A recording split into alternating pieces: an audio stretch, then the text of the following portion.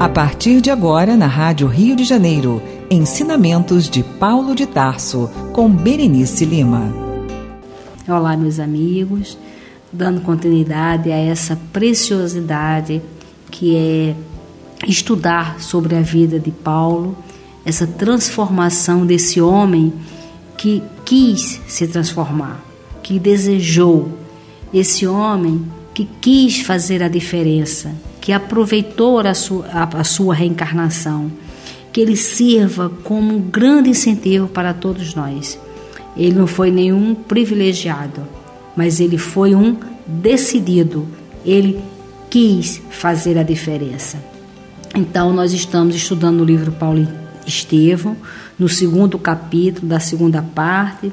O meu livro, nós estamos na página 236 onde o Saulo agora está numa sinagoga, falando de maneira firme que ele agora ele age pela graça do Cristo Jesus. Né, como nós encerramos a frase dele, que ele respondeu em tom firme e resoluto.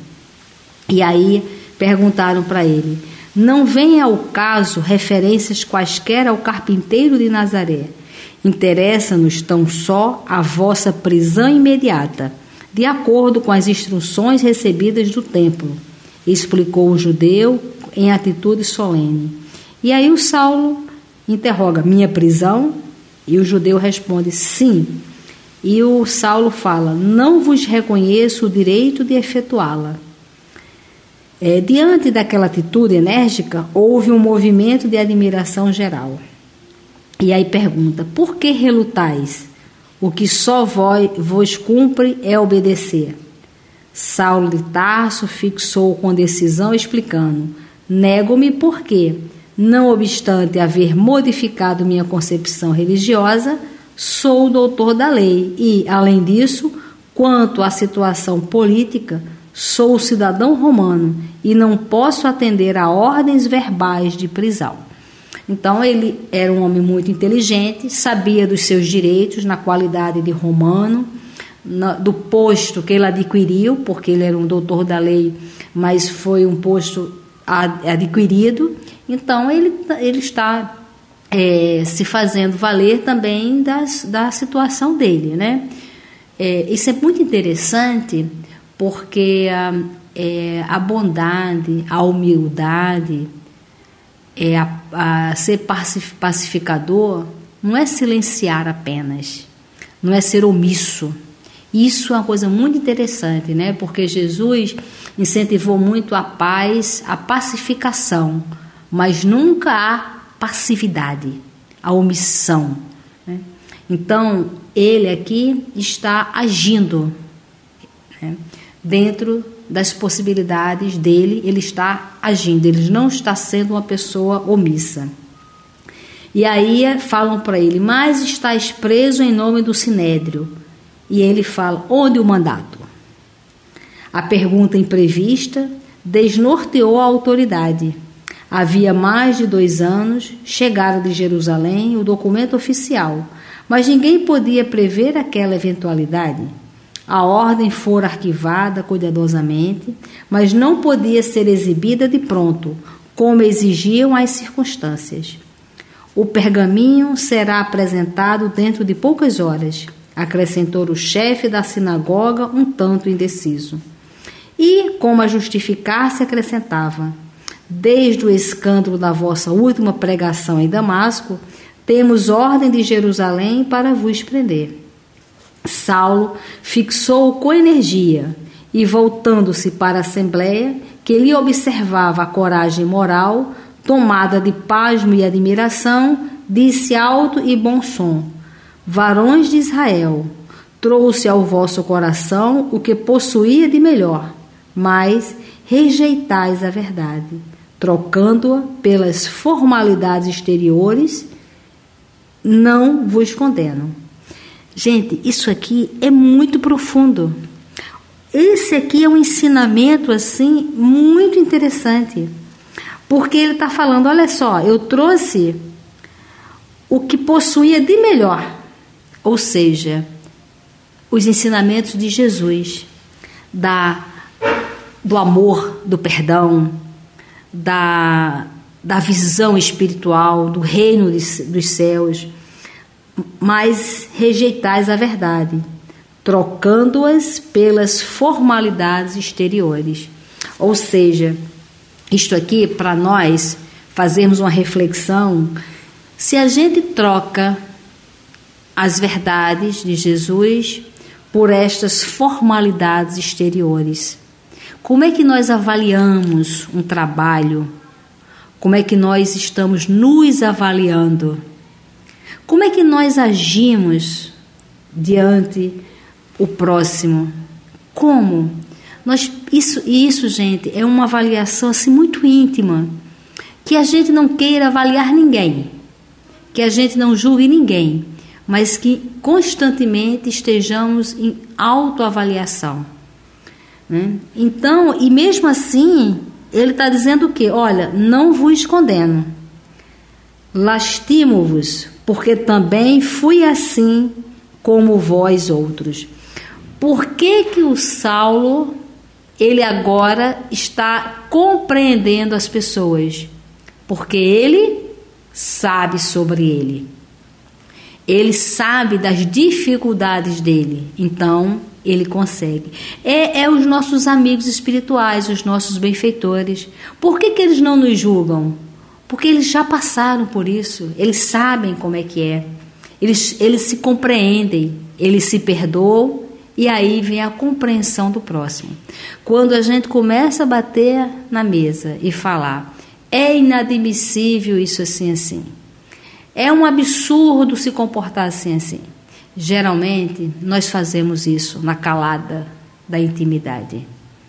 Então, não sejamos enérgicos para apontar o erro dos outros.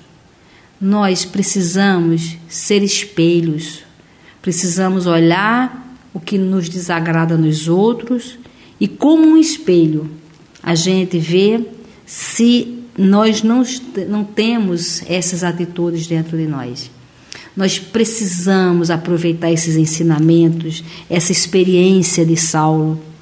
Nós precisamos para que a gente aproveite a nossa reencarnação. E assim, desde já, façamos a diferença na nossa vida, na nossa caminhada.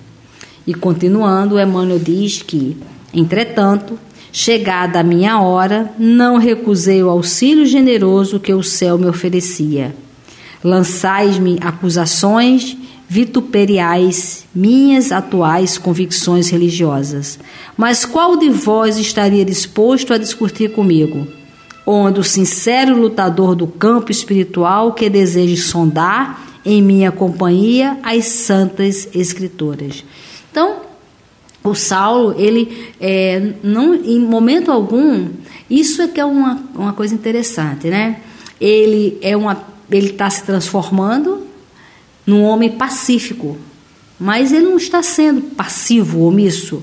Ele quer discutir as ideias, ele quer falar sobre ele. Aliás, tudo ele fala sobre ele. Como ele diz assim: Olha, eu também, eu, já fui como vocês, já recusei esse uh, auxílio generoso né, de Jesus. Mas então ele está indo pela fé racional, ele quer conversar, ele quer explicar. E o Emmanuel, ele faz essa pergunta, né? O Emmanuel falou que fez um profundo silêncio, e aí ele fala: Ninguém conheço-vos, porque também palmilhei esses caminhos. Entretanto, convenhamos em que o farisaísmo nos perdeu, atirando nossas esperanças mais sagradas no oceano de hipocrisias. Venerais Moisés na sinagoga tendes excessivo cuidado com as formas exteriores, mas qual a feição da vossa vida doméstica? Quantas dores ocultais sobre a túnica brilhante? Quantas feridas dissimulais com palavras falaciosas? Como eu, devíeis sentir imenso tédio de tantas máscaras ignóbeis. Então veja que toda vez que ele vai fazer uma análise, ele parte dele. Ele dá exemplo dele. Ele sempre fala: olha, como eu devia sentir imenso tédio, porque ele tinha esse tédio, esse vazio existencial, uma fé é, baseada apenas nas questões é, materiais, né? E aí ele diz: se fôssemos apontar os feitos criminosos que se praticam à sombra da lei, não teríamos açoites para castigar os culpados. Olha que interessante isso, né? Porque em nome de Deus, em nome do amor, se comete tantas injustiças. Gente, isso aqui é muito sério. Se a gente conseguir entender isso aqui e trazer para o nosso dia a dia, né? Quantas vezes nós julgamos Quantas vezes nós ferimos e nós fazemos o mesmo? em nome de Deus, em nome dos bons espíritos, em nome de Jesus, quantas vezes acusamos? Né? Quantas vezes? Então, isso aqui é bem interessante quando ele fala, né? É, nem o número exato das maldições indispensáveis à pintura de semelhantes abominações Padeci de vossas úlceras, envenenei-me também nas vossas trevas, e vinha trazer-vos o remédio imprescindível. Recusais-me a cooperação fraterna. Entretanto, em vão, recalcitrais perante os processos regeneradores, porque somente Jesus poderá salvar-nos. Trouxe-vos o Evangelho. Ofereço-vos a porta de redenção para nossas velhas mazelas, e ainda quereis compensar meus esforços com o cárcere e a maldição? Recuso-me a receber semelhantes valores em troca de minha iniciativa espontânea. Não podereis prender-me, porque a palavra de Deus não está algemada. Nossa, que, que bravo ele, né? E ele continua: se a rejeitais, outros me compreenderão. Não é justo abandonar-me aos vossos caprichos, quando o serviço a fazer me pede dedicação e boa vontade. Então, ele vai pregar. Só que a pregação de, dele é uma pregação prática.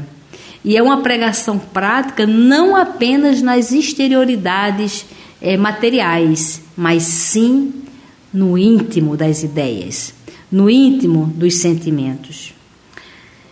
Os próprios diretores da reunião pareciam dominados por forças magnéticas poderosas e indefiníveis. O moço tarcense passeou o olhar dominador sobre todos os presentes, revelando a rigidez do seu ânimo poderoso. Vosso silêncio fala mais que as palavras concluiu quase com audácia. Olha só, vosso silêncio fala mais que as palavras. Jesus não vos permite a prisão do servo humilde e fiel. Que a sua bênção vos ilumine o espírito na, verdade, na verdadeira compreensão das realidades da vida. Assim dizendo, caminhou resoluto para a porta de saída enquanto o olhar assombrado da assembleia lhe acompanhou o vulto, até que, a passo firme, desapareceu em uma das ruas estreitas que desembocavam na grande praça. Como se despertasse após o audacioso desafio, a reunião degenerou em acaloradas discussões.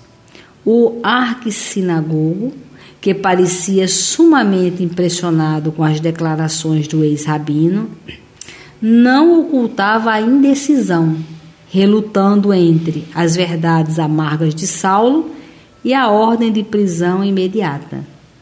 Os companheiros mais enérgicos procuravam levantar-lhe o espírito de autoridade.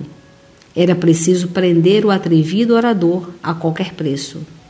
Os mais decididos puseram-se à procura imediata do pergaminho de Jerusalém e, logo que o encontraram, resolveram pedir auxílio às autoridades civis, promovendo diligências.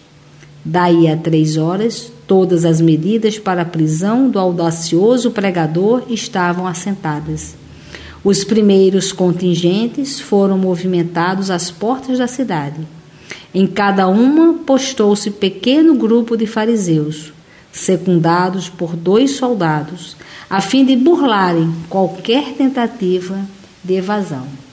Então, a questão agora também é, se tornou pessoal, né, daquele grupo, porque se sentiram com a autoridade o que ferida. Isso se chama orgulho, isso se chama vaidade, e isso faz com que muitos, muitos grupos familiares não vivam em paz. Muitos grupos religiosos, grupos de trabalho. Né? É, e aí, gente, é, esses ensinamentos aqui não dizem apenas respeito à nossa, às nossas questões religiosas, mas de um modo geral nos dizem respeito a nós espíritos, a nossa evolução espiritual abrangendo toda a nossa vida, todos os departamentos da nossa vida. E o Emmanuel diz, né, que em seguida iniciaram a devassa em bloco, na residência de todas as pessoas suspeitas de simpatia e relações com os discípulos do Nazareno. Saulo, por sua vez, afastando-se da sinagoga, procurou avistar-se com Ananias, ansioso da sua palavra amorosa e conselheira. O sábio velhinho ouviu a narração do acontecido, aprovando-lhe as atitudes. Sei que o mestre, dizia o moço por fim, condenou as contendas e jamais andou entre os discutidores, mas também jamais contemporizou com o mal. Olha, vamos dar uma paradinha aqui, né? Porque hum, isso é a figura de Jesus. Este é o ensinamento de Jesus. Vamos entender. Jesus condenou as contendas, as brigas, o bate-boca, né? E jamais andou entre os discutidores, mas também jamais contemporizou com o mal. É o famoso falar sim, sim, não, não. Não temos que provocar discussões, provar nada para ninguém, mas não podemos calar com o mal. E a melhor maneira de nós divulgarmos uma ideia é exemplificando, colocando no nosso comportamento, no nosso dia a dia. Então, você saberia responder quais são as suas ideias e os seus ideais? O que, que você falaria sobre Jesus?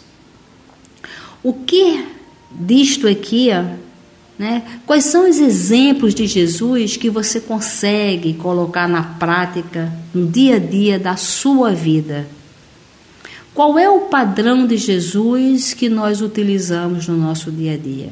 É isso, gente, que a gente tem que se esforçar para é, colocar na prática e ter um padrão de comportamento, um padrão mental, um padrão de fé de acordo com o padrão de Jesus.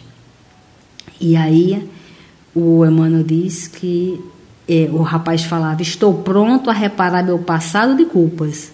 Afrontarei as incompreensões de Jerusalém a fim de patentear minha transformação radical. Pedirei perdão aos ofendidos pela insensatez da minha ignorância, mas de modo algum poderei fugir ao ensejo de afirmar-me sincero e verdadeiro. Acaso serviria ao Mestre humilhando-me diante das explorações inferiores? Jesus lutou quanto possível e seus discípulos não poderão proceder de outro modo. Então, aqui é, é ele está falando, na verdade, ele está exemplificando o ensinamento de Jesus. Né? É, que ele entendeu que Jesus não contemporizou com o mal, não ficou nas futricas entre os discutidores. Ele entendeu quando Jesus falou sobre o perdão, que ele falou: Olha, eu vou pedir perdão aos, às pessoas que eu cometi as faltas. E eu cometi esses erros porque eu era ignorante, eu não sabia, né? Então, gente, isso é muito legal.